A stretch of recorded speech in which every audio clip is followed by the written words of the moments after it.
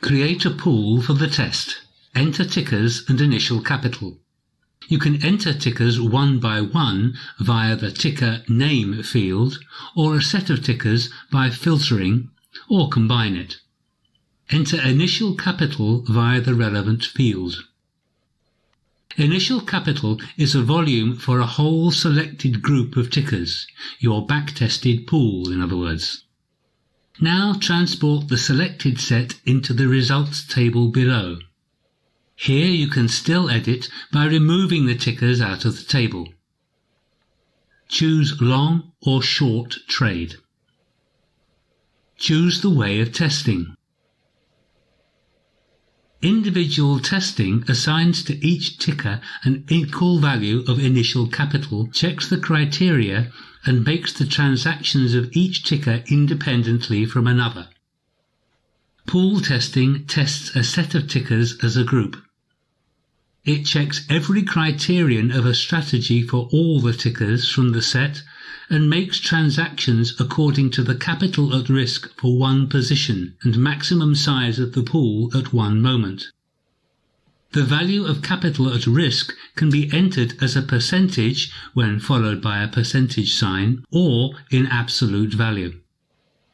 Maximum size of the pool means the maximum number of tickers in the pool in one day.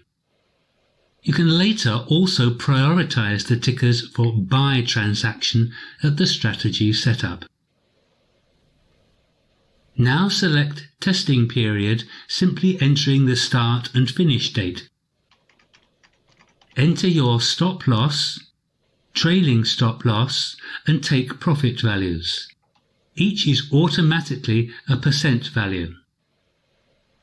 Choose benchmark by entering ticker or name enter risk-free return value and the transaction fee, both automatically a percent value.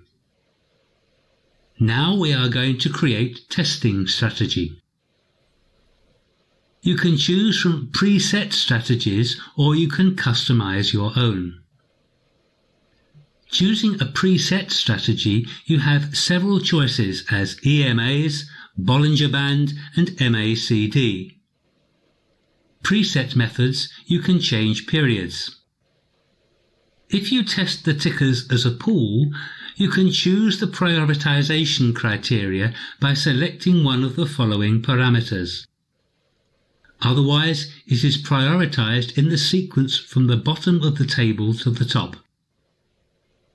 And then choose the desired OHLC value to be calculated from and click Run. Now you can see the results in two different views, the results table and in graphical forms.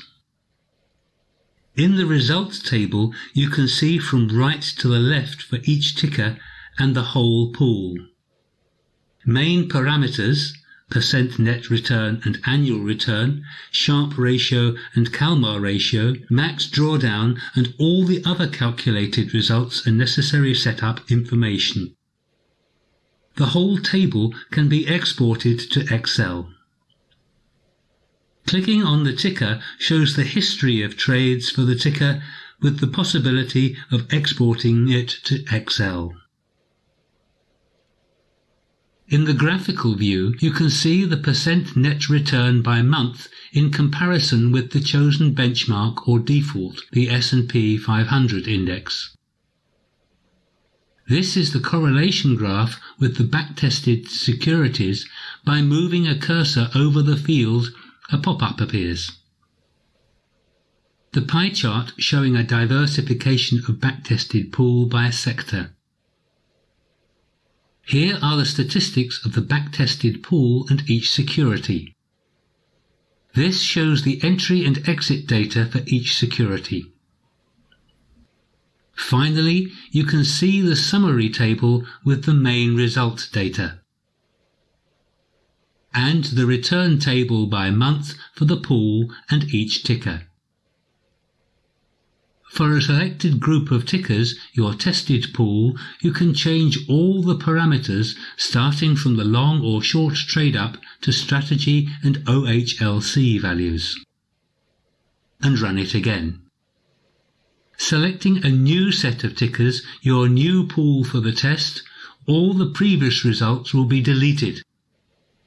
Before that, you can save your setup and results and then later load it again. You can also use the custom strategy, which means that you can create your own strategy by setting up indicators relative to other indicators and link them through logical conjunction.